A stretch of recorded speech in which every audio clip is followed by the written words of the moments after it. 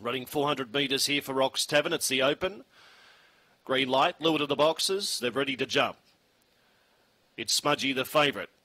Racing. It's Smudgy begin well out wide, going quickly out of gas and Picogram showing speed. And there's Sienna Magic bursting out of the pack into the back straight. Sienna Magic leads from out of gas. Out wider, it's Smudgy. Then came Picogram. Five lengths away, Aston Stella. And this time, Bro whipped them in.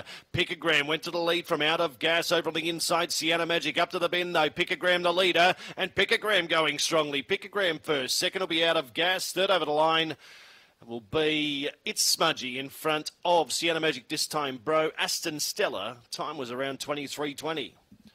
Picogram was able to burrow its way to the lead and extend.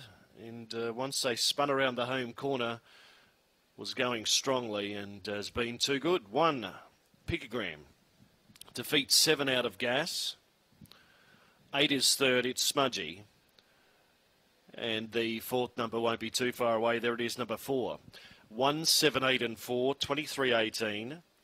23 at 18 was the time.